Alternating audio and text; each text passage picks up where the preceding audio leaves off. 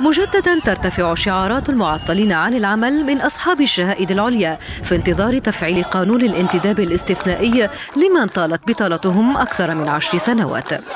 الدولة هذه معروفة من أول 2010 عمرها ما كانت مصالحها هي أهداف المواطنين ولا احتياج ولا متطلبات المواطنين هي مطالبها شخصية ومعاودتنا بالمماطلة. ونحن لهنا وقفتنا هذه الأولى اليوم السبب الأساسي والرئيسي هو إنزال الأوامر الترتيبية في الرائد الرسمي اللي قالوا لنا راهي تمت المصادقة عليها وهما يكذبوا. نحن راهو جينا لهنا رانا ماناش مروحين إلا ما طابت الأوامر الترتيبية في الرائد الرسمي. هذه الأولى وإنزال واعطينا تاريخ لإنزال المنصة الإلكترونية وبداية تشغيل الدفعة الأولى من العاطلين عن العمل.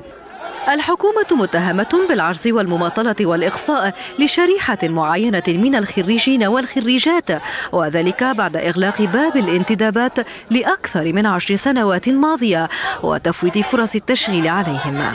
من المشمولين بالقانون 38 ممن طالت بطالتهم 10 سنوات فما فوق ننتظر تفعيله من غير إقصاء وأضع سطرين خطين أحمرين من غير إقصاء لمن آه، معناتها تجاوزت عمره سن 45 وحتى لمن آه، تمتع بالتغطية الاجتماعية. يعني شنو معناها؟ واحد يخرج يتخرج بطال يقعد بطال 10 و20 سنة يستنى معناتها شنو معناها؟ يعني يزمو يموت بالشر.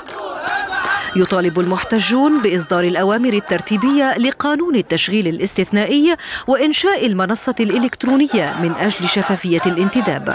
أبرز المطالب ترتكز على ضرورة عدم الإقصاء وعدم التمييز على أساس النوع الاجتماعي أو السن أو الضمان الاجتماعي كما كانت تروج لذلك تسريبات حكومية.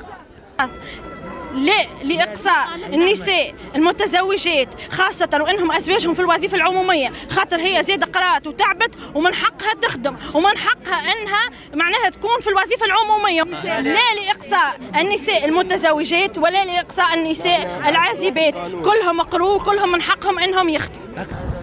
تخوفات من تسييس مسائل الانتداب والتشغيل في ظل ارتباك العمل الحكومي ما قد يدفع بالمحتجين للاعتصام حتى تحقيق مطالبهم على حد تعبيرهم. في ظل المماطلات والتسويف تتواصل الاحتجاجات في تونس مطالبة بالتشغيل والتنمية بلا توقف. اليوم نسرين سويد تونس.